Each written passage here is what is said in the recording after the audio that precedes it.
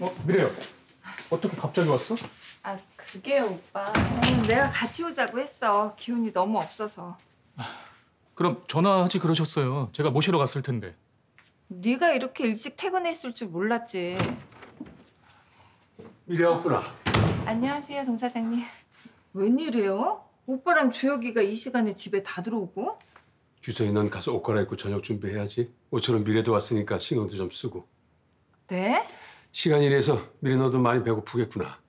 어 아니에요 동 사장님 전 그냥 고모님 모셔다 드리러 온 거예요 그럼 고모님 편히 쉬세요 전 그만 가볼게요 내가 데려다 줄게. 아니야 오빠도 피곤할 텐데 그러지 말고 미래야. 이왕 온 거니까 저녁 먹고 가렴.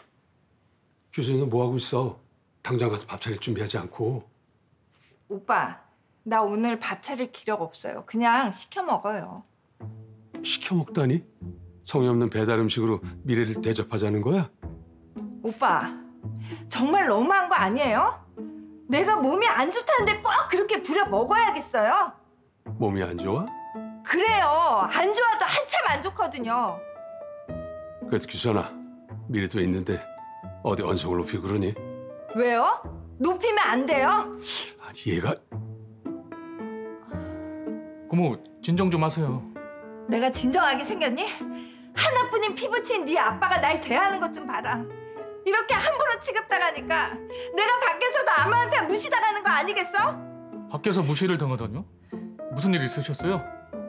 그게 오늘 내가 잔디 아빠네 반찬 가게에서 엄청 모욕을 당했거든. 일단 다 풀고 오긴 했지만서도 아니 그렇게나 행동 거지 조심하라고 당부했는데도 밖에서 싸우고 돌아다닌 거야 너? 그래요. 저 싸우고 돌아다녔어요. 아 고모님. 미래 너도 있는데 참